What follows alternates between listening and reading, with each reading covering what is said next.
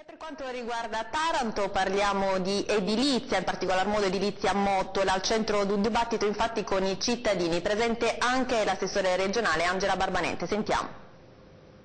Analisi e proposte a tre anni dall'approvazione del piano regolatore generale e delle linee guida è il tema del dibattito organizzato a Mottola dal Partito Democratico. Sull'argomento edilizia, tema scottante per il territorio pugliese, è intervenuto l'assessore regionale all'urbanistica Angela Barbanente.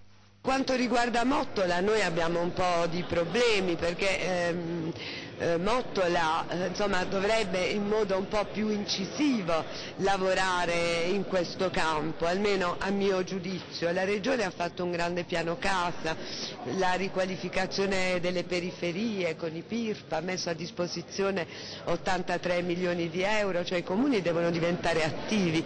Abbiamo anche una legge che eh, consente eh, di elaborare i programmi di mh, rigenerazione urbana anche per eh, rimettere in moto anche un po' il, ehm, il mercato eh, sul fronte però della riqualificazione. Dalla Regione è partito l'ok, però sono i comuni che si devono attivare. Eh, assolutamente, la Regione mette strumenti a disposizione, fa atti legislativi, programmatici, mette fondi a disposizione, però come sappiamo la competenza in questo campo per quanto attiene alla iniziativa locale il dibattito al quale hanno partecipato tecnici, imprese, associazioni e forze politiche e sociali del territorio è stato moderato da Giovanni Bello, consigliere comunale del Partito Democratico.